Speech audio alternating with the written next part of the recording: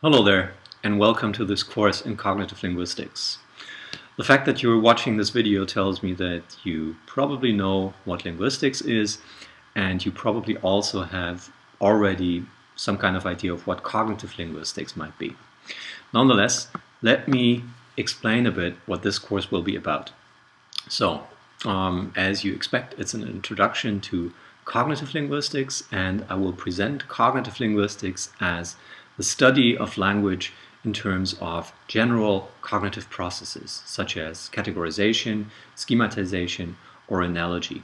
Now, these are called domain general cognitive processes because they're not restricted to language. We don't just use them in language processing or language production, but rather they're also at work in other cognitive tasks that you do as a human being.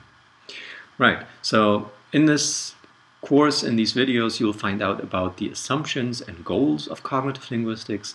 I will try to cover its main research themes and I'll also say a few things about how the field has developed since its inception in the early 80s.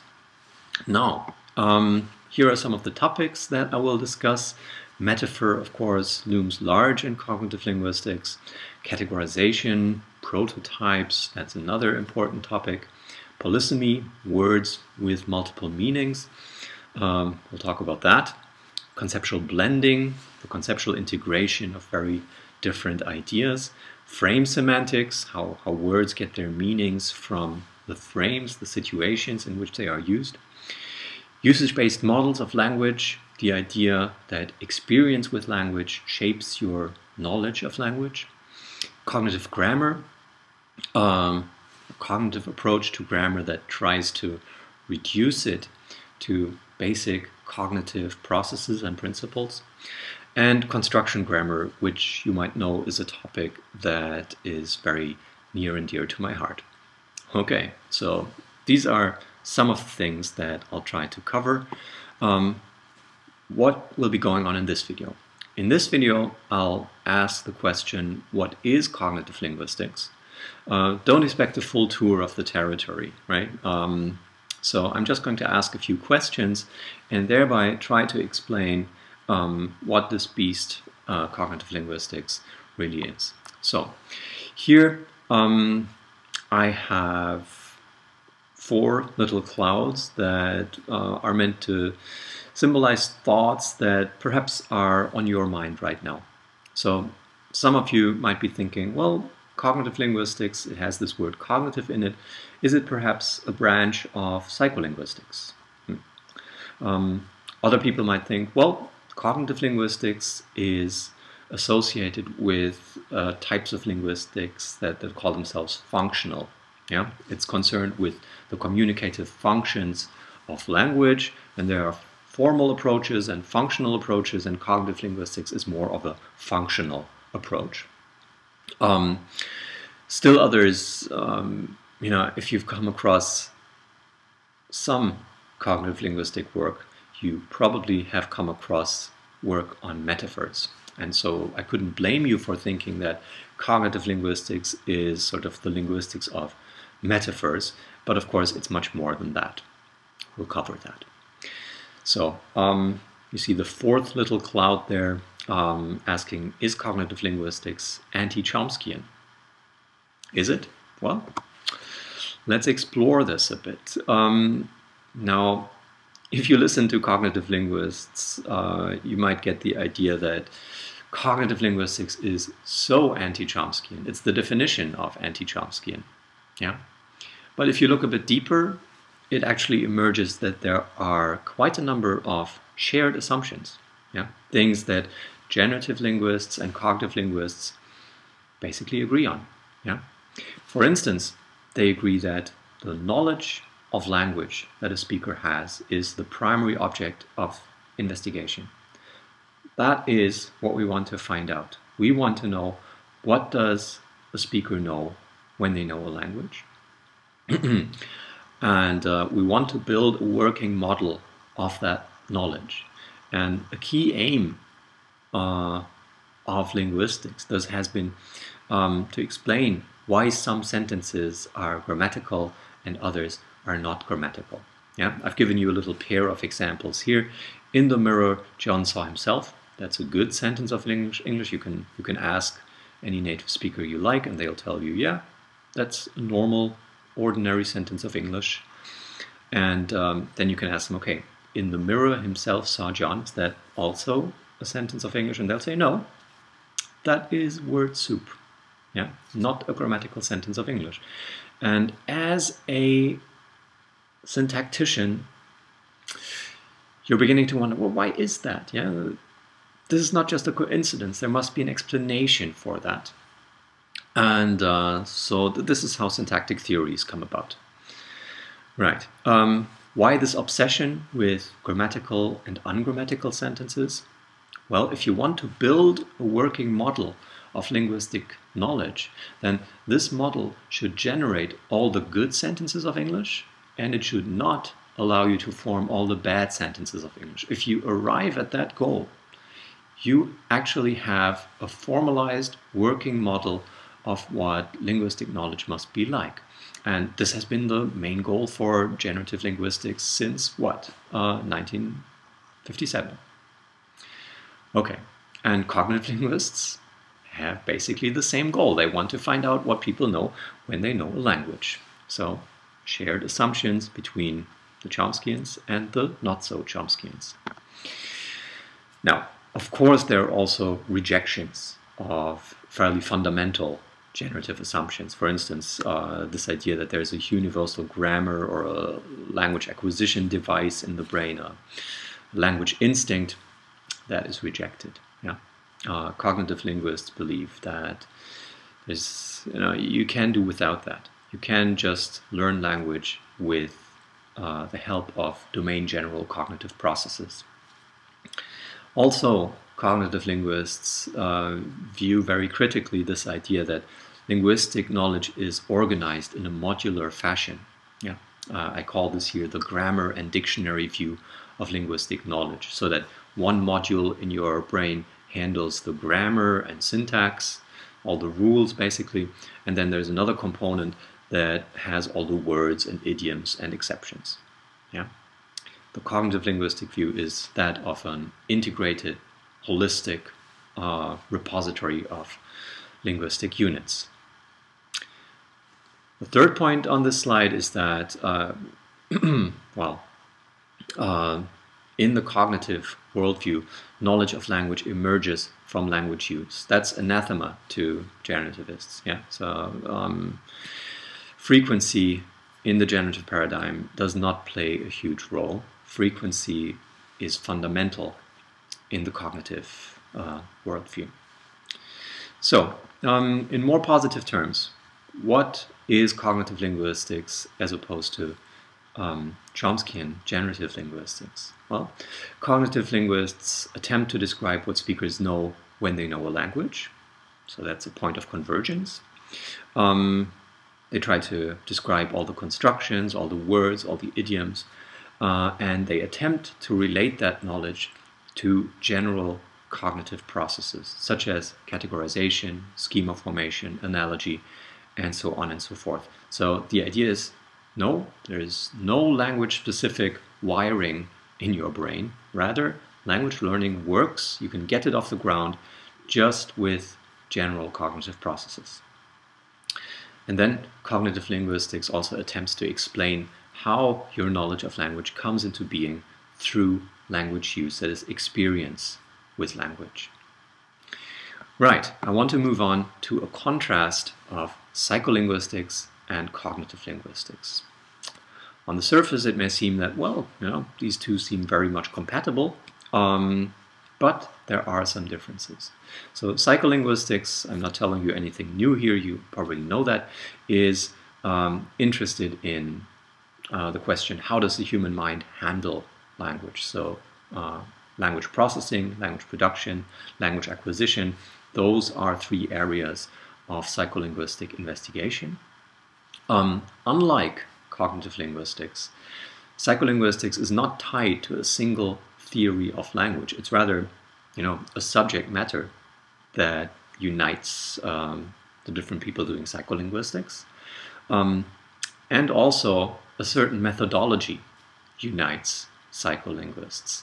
So psycholinguistics has a much longer empirical tradition than cognitive linguistics. Yeah, so coming from psychology where uh, people have been working empirically for a long, long time, the focus in psycholinguistics is on so-called online data. That doesn't mean internet data, that does mean um, behavioral data that, that actual people produce. Yeah, so reaction times in response to some kind of stimulus, eye movements, if you give them a screen with figures to look at, brain imaging, these kinds of things. Okay, that is the bread and butter of the working psycholinguist. And well, how does cognitive linguistics stack up against this?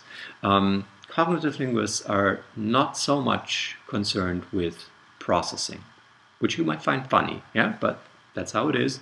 Um, but cognitive linguists are very much concerned with the question, what does language, the structures and forms of language, what do they tell us about the human mind? What can we infer about cognition looking at language? So cognitive linguists are very much concerned with language structures, including the forms but also the meanings of language, and language representation, how it must be represented in the mind. Yeah. Unlike psycholinguistics, cognitive linguistics is conceived of as a theory of language, a theory of how language works, a theory of the knowledge that speakers have in their minds. Again, there are points of convergence. Psycholinguistics is also concerned with the construction of cognitive models, um, but no psycholinguist um, would attempt to build, you know, the super model that explains it all, whereas cognitive linguists are a bit more bold in that regard. So they, you know, go for it. We explain everything. Okay, and um, cognitive linguists have for the longest time been using offline data. So linguistic examples like the in the mirror himself saw John, grammaticality judgments, and uh, corpus data. To be sure, there's a trend towards experimental methods, towards more sophisticated corpus studies, but that's where it comes from, okay? From a very philological, um, language theoretical perspective. Right. Um, in terms of methodology, uh, psycholinguistics is very much a divide and conquer approach.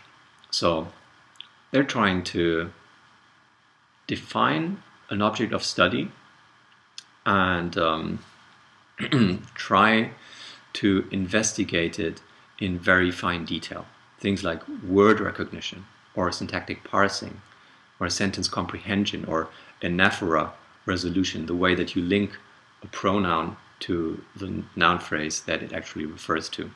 Yeah, so these are relatively small areas of investigation and so um, psycholinguists who are concerned with these, they would develop models that mimic human behavior with regard to these tasks as closely as possible. By contrast, cognitive linguistics is very much a theory of everything. Yeah, how language is represented in the mind, how it is learned and used, how it changes, the universe, and all the rest. Yeah. Okay. Uh, I'm doing neither of the approaches justice, really, but uh, as a caricature, uh, this will do. Moving on, um, is cognitive linguistics functional?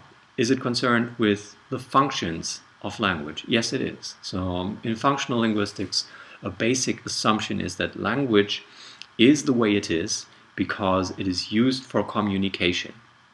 Yeah. So it is a tool for getting things done in the world. And um, so that means that the structures and forms of language that you see are the way they are because of the way they are used.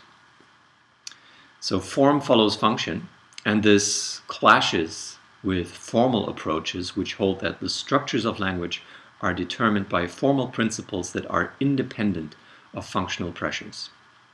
Okay, let me first give you an example of where you see functional pressure in language. Have you ever wondered why the words that you use the most pronouns, articles, things like that, prepositions maybe, uh, are so short. Yeah, Words that you use often tend to be very short. Words that you use less often, they can be longer. Now, from a functional point of view, this makes total sense, yeah, uh, because the things that you use often, they need to be quick and handy, and uh, you need to be uh, basically using them very fast. And so, well, there you have it. Um, language is efficient because, well, it's usage based, it's functional, uh, it is used for communication. However, um, let me read these two examples here, um, which are an argument that a formalist would raise. Okay, you functionalists, explain me this. Um, here I have one sentence of English that's a grammatical sentence. This is the report that I filed before reading. Um, so report is a noun, and then you have a relative clause that I filed uh, before reading, and it is understood that what you read is the report. Um, okay, this relative clause construction works great, but um, if you try to do the same thing in the main clause, I filed the report before reading, native speakers of English will tell you um, that's not a sentence of English. Sorry to tell you, that's uh, ungrammatical. And you wonder, well, but it works in the relative clause construction and it's perfectly understandable what I wanted to say and why is this not a grammatical sentence of English? And they will say, I don't know. it just is that way. And the formalist will say, see, that's because language structure has nothing to do with function. It has all and everything to do with form. Okay, I don't know how much you make of examples like these. They're certainly embarrassing if you're a dyed-in-the-wool functionalist, like I am, for instance. Um, and, um, well, cognitive linguists ought to find some explanation that would, um, well, convincingly show why it is crystal clear that I filed the report before reading must be ungrammatical. Okay, um, moving on to the fourth cloud, is cognitive linguistics about metaphors? A resounding yes, cognitive linguistics is very well known for work on meaning in general and work on metaphor in particular. And um, what's the definition of metaphor in the cognitive framework? Well, uh, the, the, crucial thing that cognitive linguistics does differently than, say, other approaches to metaphor, there are gazillion approaches to metaphors. Um, so the cognitive approach uh, holds that the essence of metaphor is understanding one kind of thing in terms of another kind of thing. So metaphor is not just a matter of words, not just a matter of language, it's a cognitive thing. It's a, a way of seeing the world, of understanding complex things in terms of more simple things that we can relate to.